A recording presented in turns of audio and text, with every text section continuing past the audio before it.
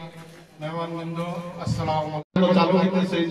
আজম হজরত মালানা শাহ সুফি সৈয়দ আহমদুল্লাহ বার্ষিক উরুস শরীফ পালন করা হয়। কুয়েত পুরাতন দায়রা শাখা মাইজবান্ডারি কাউসিয়া হক কমিটি বাংলাদেশের উদ্যোগে মাগত দশ তারিখ এই উরুস শরীফ পালন করা হয়।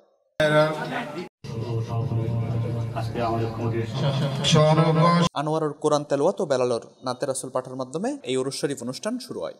কেউ লম্বা এগুলো শুধু আমাদের পরে লিটনের পরিচালনায় সংগঠনের সভাপতি মোহাম্মদ আলমগীর তালুকদারের সভাপতিত্বে প্রধান মেহমান হিসেবে উপস্থিত আছেন ব্যবসায়ী মহিউদ্দিন বিশেষ অতিথি হিসেবে উপস্থিত আছেন সংগঠনের সাধারণ সম্পাদক মোহাম্মদ সেলিম মনসুর আলম মিন্টু রফিক আবদুল্লাহ খোকন বক্কর শহীদ সহ আরও বোধকে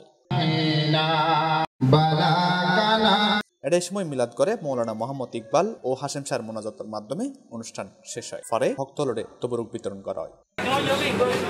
ডেক্স নিউজ, সি প্লাস টিভি।